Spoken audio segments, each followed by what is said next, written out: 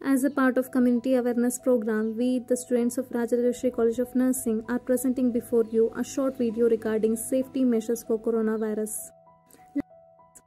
Let me start with a short description of the video. It includes safety measures for coronavirus, what is coronavirus, coronavirus outbreak, and precautionary measures. As we know, the majority of the cases confirmed are from mainland China. The notorious virus has managed to spread its leg to many other countries and regions around the globe. While the scientific community is trying their level best to find a cure for this disease, its expansion can be easily stopped by following some safety measures by us. So today, let us have a look at the steps we need to take to defeat coronavirus and to protect ourselves, our loved ones and the world. Most of the people infected with COVID-19 experienced a mild fever and managed to recover in some time, but it can be more severe for others. And the main concern with this virus is that it is constantly looking for a new host to execute its evil plans. But worry not, my friends. With few simple steps, we can defeat the disease and stop its wicked intentions by doing the following. First, although it may sound harsh, please try to avoid any close contact with people who are sick, especially those who are suffering from fever, cough, cold, or acute respiratory infection. And if you are the one suffering from any of the mentioned sickness, make sure to visit your doctor ASAP and share the information about your recent travels if any. And after that, take your medicines on time and do stay at home until you are completely cured. And in case anyone has been confirmed to be infected by this virus, please make sure to wear a face mask and prevent the spread of disease to others. Someone who has been completely quarantined or has been released from isolation does not pose a risk of infection to other people.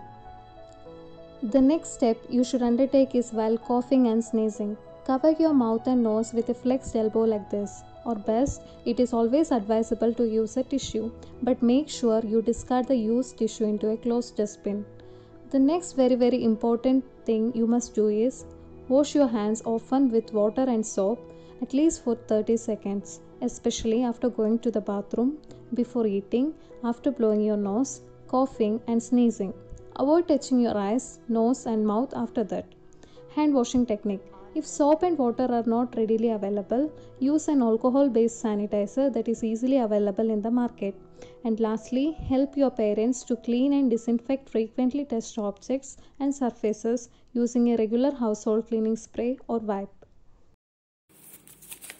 Did you know viruses and the disease they cause often have different name? Yes.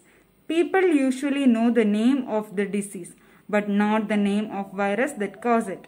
The official name of coronavirus disease is COVID-19 and virus is severe acute respiratory syndrome coronavirus 2 or SARS-CoV-2.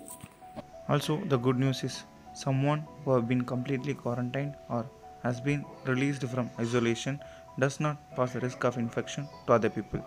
And if you are still confused about where to start, the easiest thing you can do is by sharing this video with your friends and family so that together we can fight this terrible disease and bring things back to normal like before.